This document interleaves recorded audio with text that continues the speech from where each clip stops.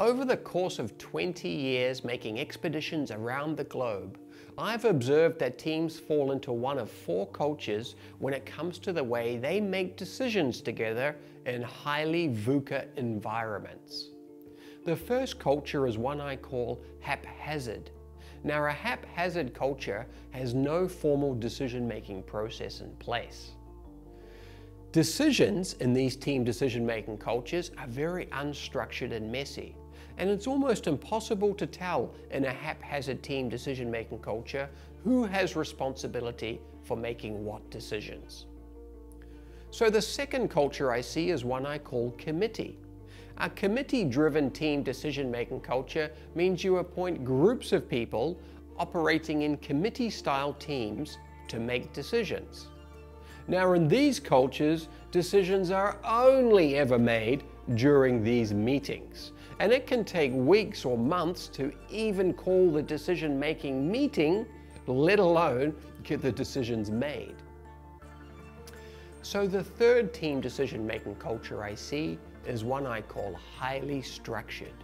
This means you have a centralized decision-making process based on a hierarchical structure.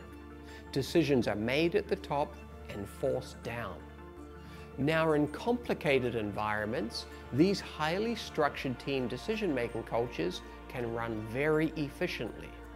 But in complex environments, where the environment is changing rapidly and uncertainly, communications break down, highly structured teams very quickly become fragile.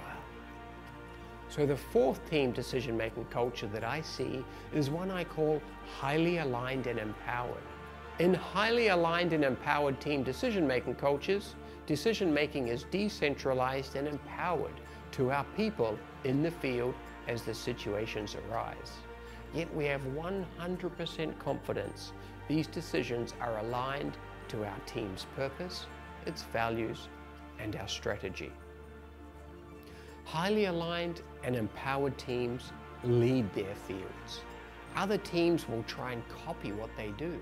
They may even try and steal their star performers.